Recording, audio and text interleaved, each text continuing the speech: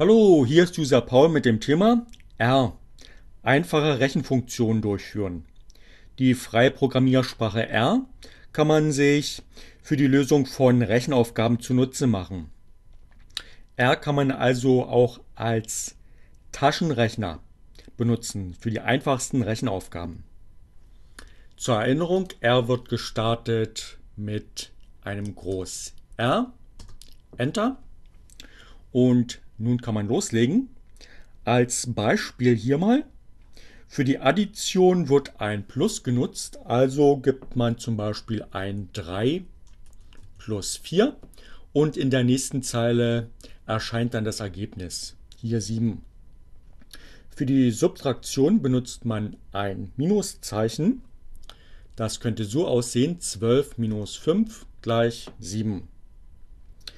Für die Multiplikation benutzt man ein Sternchenzeichen. 7 Sternchen 7. 7 mal 7 gleich 49. Für die Division benutzt man ein Slash, also ein Schrägstrich. Das sieht wie folgt aus. 24 durch, also Schrägstrich 3 gleich 8. Für die Exponenten benutzt man ein Hütchen oder zwei Sternchen zum Beispiel 3, Hütchen 4 gleich 81 oder 3 Sternchen Sternchen 4 gleich 81. Für Modulo benutzt man zwei Zeichen auch wieder und zwar zwei Prozentzeichen hintereinander.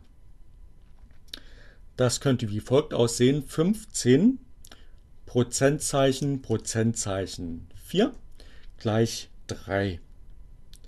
Und am Ende noch die Wurzelfunktion. Die sieht so aus, SQRT und dann in Klammern die Zahl, aus der man die Wurzel zieht, zum Beispiel 64 und in der nächsten Zeile erscheint dann das Ergebnis 8.